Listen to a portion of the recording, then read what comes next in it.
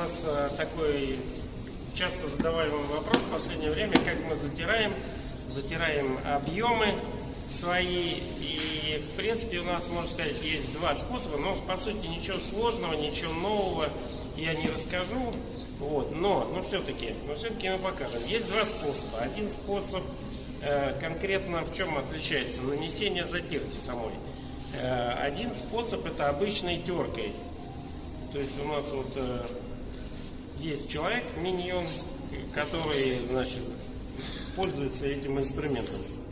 Вот. И, ну, я, об этом я не буду рассказывать, я думаю, тут все элементарно, все понятно, наносится, более-менее густая затирка, да, и тут как бы э, второй способ чуть позже мы расскажем и покажем, а э, замывание. Замывание происходит у нас вот такой вот губкой, да, ну, то есть, опять же, на ручке, и вот губку можно крупнее снять, что это за материал мы берем, да. То есть это вот Целлюлоза. так- цел- целлюлоза, да, такая очень хорошая, она такая с крупными такими дырочками, ячейками. Вот она там у нас представлена, сейчас уже в скрученном виде. Это у Шайкера Андрея посмотрели. Да, да, что да. Палку прикрутить. да. И, соответственно, у нас ведро. Ведро очень, э, очень ценная и полезная вещь. То есть там имеется решеточка внутри ведра. Здесь вот два валика у нас. Вот. Ну, короче, самое дешевое ведро, которое Самое есть. дешевое стоит оно вообще просто Меньше полу- полутора тысяч. Что-то да, мы там покупали вообще смешная какая-то цена. Купили сразу два даже про запас одно. Вот. И вот это, вот этим инструментом происходит замывание. Очень важный момент, потому что большие объемы, реально это не то, что в квартире. В квартире, конечно, я такое никогда не беру, не собираю. Зачем мне там этот маленький объем?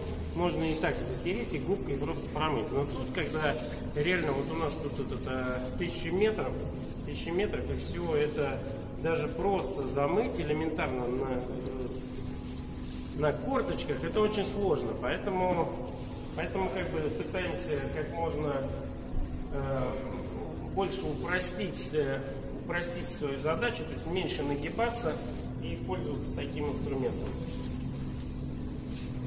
Давай показывай уже. Так нет, показывать мы будем сейчас, да, отдельно. Отдельно. Ну тогда давай снимаем вот эту затирку нашу. Что у нас с затиркой? Значит, э, ну так как мы вот этот э, способ мы не будем показывать, его и так все знают. Хотя не все, хотя не все. Есть такой прикол.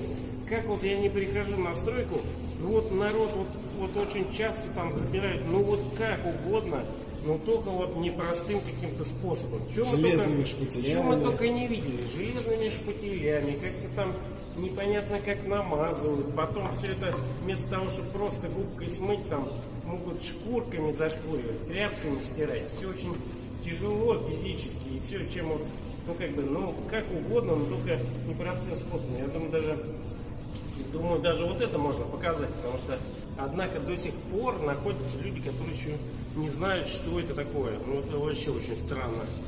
Или когда показывают какое-нибудь видео, и там вот как надо затирать, и показывают этот резиновый шпателечек, да, такой. Тоже непонятно просто. Сегодняшний день это вообще как бы, ну, элементарно во всех магазинах продается уже во всей стране. Ну, сейчас ты жидкий. Ну, у меня жидкая, но я просто, у меня это, этим у меня не получится затирать. Но я просто, да, изображу просто. Э, ну, то есть, в принципе, даже что-то получилось, да. То есть это и хорошо собирает, и очень удобно затирать. Можно вот затирку сразу брать, но если было бы погуще, то можно даже так. Вот взял там еще. Ну или шпателем еще пользоваться. Взял только терку почти. Ну ничего, ничего, это она Диме сейчас нужна будет. Или он взял уже другую, да? Ну ничего, на это. Так, ну это тоже не нужна, я тоже убираю, у нас есть уже бушная. И мы сейчас будем показывать. Давай мы сейчас приостановимся чуть по... или э, вы хотите сразу заснять, как я начинаю. А вдруг не получится? А вдруг не получится? Дело в том, что дело в том, что. А, где вообще это другая эта наша тетка? Давай останови на секундочку. И, значит, второй способ, он у нас на канале уже был. Э, Мы затираем вот таким вот шпателем. Ну, тут конкретно имеется в виду нанесение затирки, да, нанесение затирки, то есть эм, когда у нас очень большой объем затирки. И тут, как бы, может быть, я там в прошлом фильме не рассказал. Опять же, нам нужна определенная плитка для этого. То есть, если плитка шершавая, то этот способ не прокатит. Потом мы были в Волгограде, там очень жарко, этот способ тоже не прокатывает. Затирка сразу сохнет на плитке и, в общем, ничего не получается. Вот. А тут у нас э, такой, она как бы это керамогранит, но при этом он еще и глянцевый, да, то есть покрыт каким-то То есть на, по нему хорошо будет скользить. Так, и второй момент это то есть э, нам обязательно нужно наличие пылесоса и идеально чистая плитка. То есть вот в данном случае можете поснимать, сейчас походить. Вот плитка у нас очень чистая, все надраили, вымели, швы пропылесосили, ничего тут не катается, никакого песка тут нету. То есть все идеально чистая поверхность. Конечно, терочкой можно и как бы только там аккуратно местно пройтись, там все кусочек вымести, а тут нам надо сразу всю территорию убирать. Это тоже такой момент, который как бы необходим для вот этой работы. Все, а теперь посмотрим затирку. Ну, затирку я еще точно, я ее навел, но я еще точно не знаю, получится у меня или нет. Вот именно какая. Я буду вот сейчас по ходу смотреть, какая мне нужна. Чуть больше воды, там чуть меньше.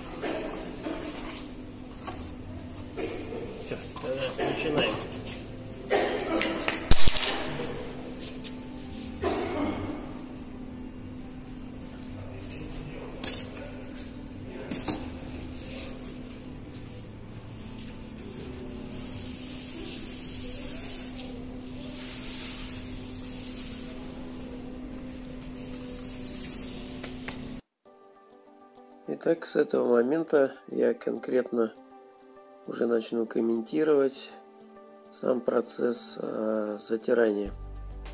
Ну, во-первых, надо сказать, что вот эту затирку нам купили. Это аквастатик, если кто знает. Она имеет такую очень, как сказать, маслянистую консистенцию, то есть не очень жирная, как, как бы вот размазывается по плитке и очень плохо собирается шпателем. То есть это более качественная затирка для влажных, скажем так, даже можно сказать для бассейнов, для каких-то таких помещений. То есть хорошая качественная затирка, стоит дороже. Не знаю, нужна ли она тут в этом магазине, но тем не менее нам ее купили. И с плитки она собирается с шпателем Хотя вот здесь вот я сейчас начинаю, я начинаю новым шпателем. И собирается она хорошо, но относительно обычной, скажем, затирки, она собирается намного хуже. То есть на плитке остается очень большое количество налет такой жирной пленки, там какие-то часть затирки остается в виде какого-то небольшого слоя. Вот, то есть шпатель собирает ее намного хуже, чем, скажем, обычную затирку. И при этом еще есть одно свойство. При высыхании она очень быстро, во-первых, подсыхает. Вот сверху вот этот тонкий слой, в швах она еще стоит влажная, а вот на плитке она высыхает очень быстро. И вот этот момент да, высыхания эта затирка, она особенно становится очень твердая, скажем так, набирает прочность, стоит тут на плитке очень быстро. Он плохо отмывается. Вот, и тут это тот самый момент, когда э, Сергей поехал за вторым шпателем, и мы работали, начали работать одним. То есть я вот затер э, небольшой кусок, и мы его какое-то время смывали. И надо сказать, что в этой поездке, э, скажем, этот метод вот, доведен до какого-то, ну, я не знаю, до, до идеала можно ли что-то довести, всегда есть куда двигаться, но в принципе очень у нас э, все гармонично сложилось, то есть вот э, сам процесс нанесения затирки и дальнейшее замывание. То есть получилось э, очень хорошее сочетание. Быстрое нанесение. То есть и тут, конечно, мы работаем в два шпателя. То есть у нас даже вот два их э, два лежит. И сейчас я наношу затирку, наношу ее э, первый, значит, первый самый основной слой. Дальше идет Серега, брызгает уже затертую мной плитку, брызгает э, водой и идет второй раз. То есть снимает э, вот этот налет, она более жидкая, снимается хорошо, но в швах остается более густая затирка. Так как если вот э, один раз шпателем пройтись, потом замывать очень сложно. Остается очень много э, там затирки на плитке и губки быстро забиваются. И надо сказать, что вот второй раз э, шпателем вторым мы идем сразу, то есть пока затирка не успевает подсохнуть. Вот, то есть брызгаем сейчас вот водой, Серега брызгает из брызгалки воду, разбрызгивает. И как бы вот этот вот э, такой набрызг воды позволяет снять излишки вот с поверхности плитки. То есть вот второй раз уже проходится и после, после второго шпателя остается, все равно остается какой-то налет, так как вот затирка у нас очень жирная. Э, но при этом это уже гораздо легче замывается губками. Да, и замывание плитки происходит, конечно, в обратном направлении, то есть э, э, двигаемся, двигаются спиной, замывая за собой, чтобы не оставались следы. По замытой, конечно, плитке уже ходить нельзя, чтобы не прилипала к ногам затирка. И все движения что затирка, что второе снятие, что замывание у нас все идут по диагонали плитки. То есть, э, ну, нанесение вообще обязательно по диагонали. То есть, э, шпатель, чтобы не чиркал, он спотыкается о кромке плитки и остаются эти следы. Ну и, соответственно, по диагонали лучше заполнение. Вот поэтому движение по диагонали обязательно. Да, при таком нанесении, конечно, туда э, где-то остаются пузырьки воздуха. Допустим, есть места, где ну, не полностью туда попадает затирка. Ну, таких, я бы, да, там пропуски есть, но я бы не сказал, что это какая-то катастрофа. Э, на следующий день мы там посмотрели, по сути, это легко очень проходится там шпательком э, и устраняются все недочеты. При этом основное заполнение швов э, ну, ничуть не хуже, а может даже и лучше, чем обычным шпателем. То есть такая жидкая затирка, она проникает очень глубоко в шов и, в общем, полностью заполняет все. По замывке могу сказать следующее. То есть сначала мы решили слегка подсушить э, плитку и это нам очень усложнило процесс работы э, значительно.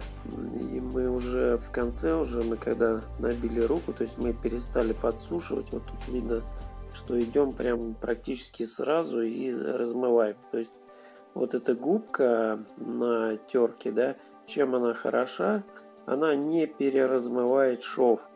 То есть она э, как бы идет вот это по плитке, и шовчик вот размывается вот именно насколько нужно, не глубже, чем нужно. Это очень важный момент. Да, могу сказать, что на следующий день мы очень придирчиво, то есть у нас было 400 метров затерто обычным способом один человек потихоньку это затирал. И на следующий день, после вот этой затирки, после этого форсирования, мы очень придирчиво смотрели по качеству затирки. можно, я могу сказать, что очень, очень хорошо все получилось. Вообще не осталось каких-то прям косяков, но вот кроме там небольших пропусков, которые уже там затерли, но это не составило никакой проблемы. Да, кстати, по предыдущему видео у нас много было комментариев, типа того, ха-ха, как же так, стекломоем затираете.